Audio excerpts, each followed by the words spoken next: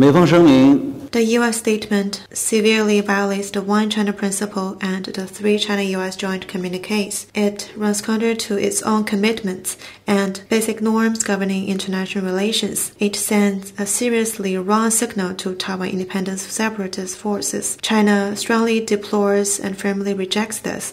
We have made our stern position clear to the U.S. side and made solemn representations. I would like to stress the following four points. First, there is only one China in the world. The government of the PRC is the sole legal government representing the whole of China. Taiwan is an inalienable part of the Chinese territory. A total of 180 countries, including the U.S., established diplomatic ties with China on the basis of adhering to the One China principle. The One China principle principle is a com common consensus of an international community and a universally recognized basic norm of international relations. It is not to be challenged and distorted by the U.S. The U.S. admits in the three joint communiques that the government of the PRC is the sole legal government of China, and it is within this scope that the American people will have cultural, business, and other unofficial relations with the people of Taiwan. Second, the Taiwan region's participation in the activities of international organizations must be handled in accordance with, with the One China principle. The UNGA Resolution 2758 has solved once and for all the representation of China in the UN in legal, political, and procedural terms. UN organs and secretariat should handle Taiwan-related affairs in accordance with the One China principle and the resolution. The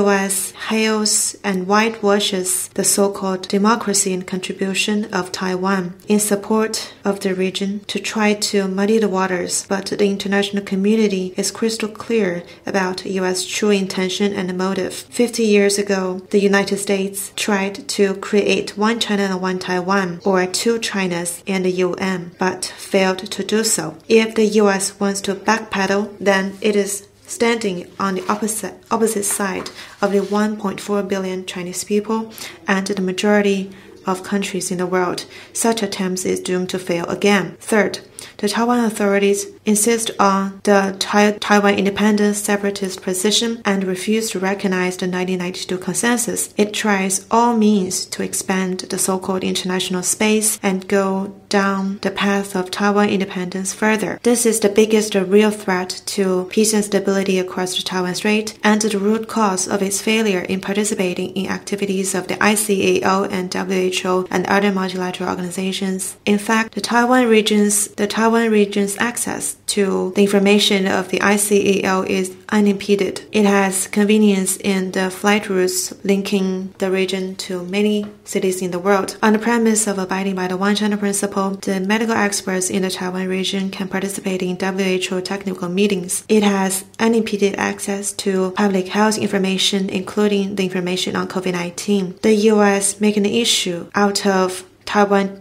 Taiwan's participation in the ICAO and WHO to solicit sympathy. It is miscalculation that will win no support. Fourth, the One China principle and the three China-US joint communiques is the political foundation of the bilateral ties. The so-called Taiwan Relations Act and six assurances unilaterally created by the US seriously violates international law and basic norms of international relations. It runs counter to the One China principle. China does not accept it from the very beginning. For some time, the U.S. keeps making wrong moves on the Taiwan question.